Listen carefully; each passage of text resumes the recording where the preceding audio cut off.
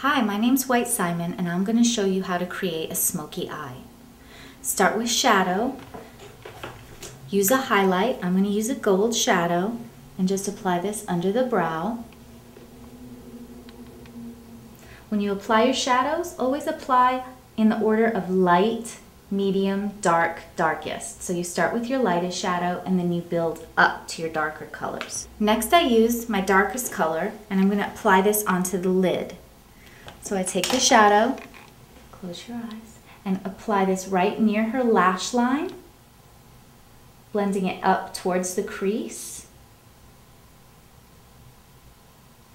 but keeping the darkest, keeping the darkest point by the lashes.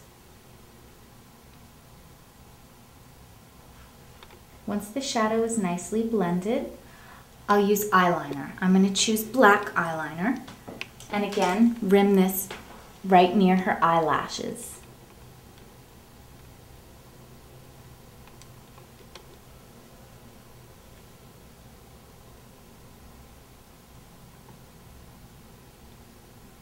When you're doing a smoky eye, you want the darkest color to be near the lashes and then for it to gradually fade lighter as it blends up towards the brow.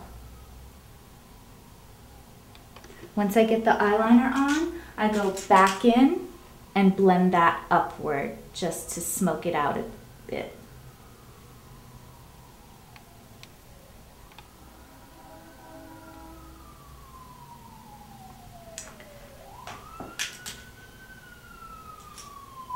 And I'm to have you look up at the ceiling and then I rim under her eye with the same shadow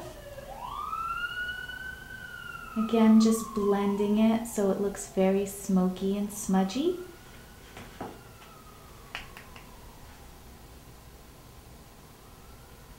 Blending is the key, so just take your time, work with your brushes. Okay, now with some mascara. Lots of black mascara.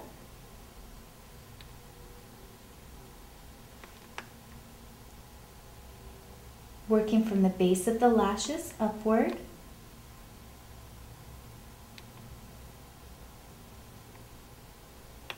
This is a soft version of a smoky eye, and I'm going to show you how to take it one step further and get a little bit more drama.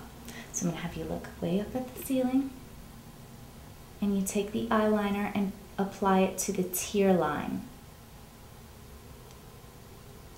This just enhances the darkness and creates a more dramatic smoky eye.